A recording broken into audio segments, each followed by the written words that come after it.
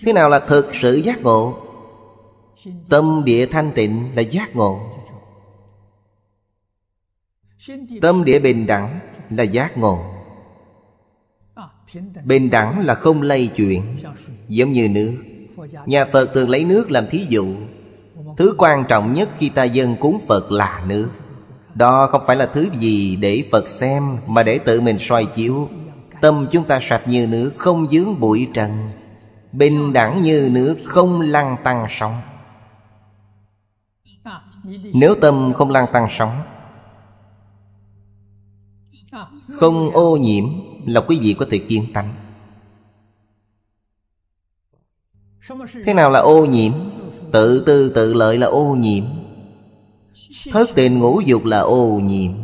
Tham sân si mạng là ô nhiễm. Thế nào là không bằng phẳng? Cũng cao ngã mạng là không bằng phẳng, Phân biệt là không bằng, Có giai cấp là không bằng, Phật Pháp là Pháp bình đẳng. Từ chư Phật Như Lai cho đến các loại côn trùng Đều nhất luật bình đẳng.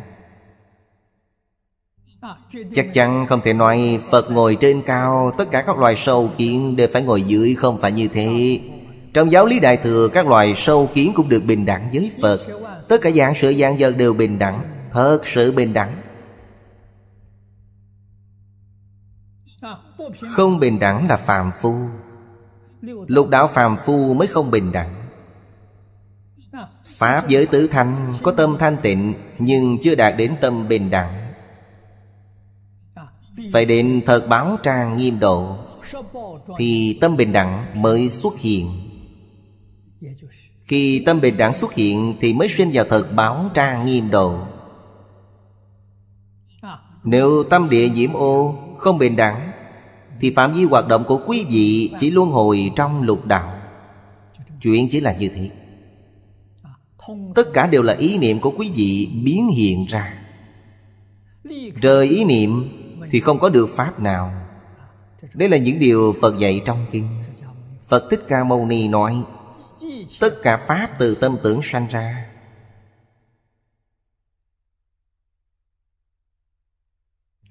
Xa rời tâm tưởng thì không có pháp nào cả. Trước đây chúng ta đã đề cập đến rất nhiều vấn đề này, về sau vẫn tiếp tục nói. Vấn đề này thuộc về khoa học cao cấp. Triết học cao cấp. Ngày nay khoa học, triết học vẫn chưa đạt đến cảnh giới này. Đây là đại học vấn.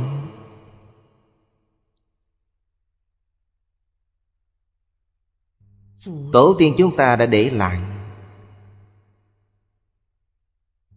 Chúng ta học những thứ này để giữ cho được bình an. Bảo vệ sức khỏe trường thọ. Hạnh phúc đầy đủ cho quý vị. Bảo vệ dẫn nước hanh thông Mãi mãi thanh bình.